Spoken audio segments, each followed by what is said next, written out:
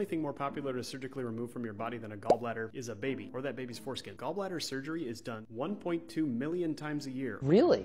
That many? It is the fastest and most expensive way to get rid of gallstones, and sometimes that's nice because they can be incredibly painful. But a gentle way of managing things might be better. Most gallstones are made out of cholesterol, and things that cause cholesterol, particularly triglycerides, to be high can cause gallstones to form more easily. Women are also more likely than men to have gallstones because of estrogen. And of course, having your gallbladder removed doesn't take away any of those causes, it just means you're not seeing and feeling some of the effects. But losing your gallbladder means you are 46% more likely to be diagnosed with IBS. Since IBS is a diagnosis of exclusion, that only means you have tummy problems and your doctor doesn't know or won't admit why, but we can infer that gallbladder surgery causes tummy problems. This is usually because your guts need bile, but it has to be in a Goldilocks zone. Too little, you can't break down anything you eat with fats. Too much, and you will suffer from bile acid malabsorption, aka BAM, which is what you will say when you run to the bathroom with bile acid diarrhea, aka BAD. BAM BAD! BAM BAD!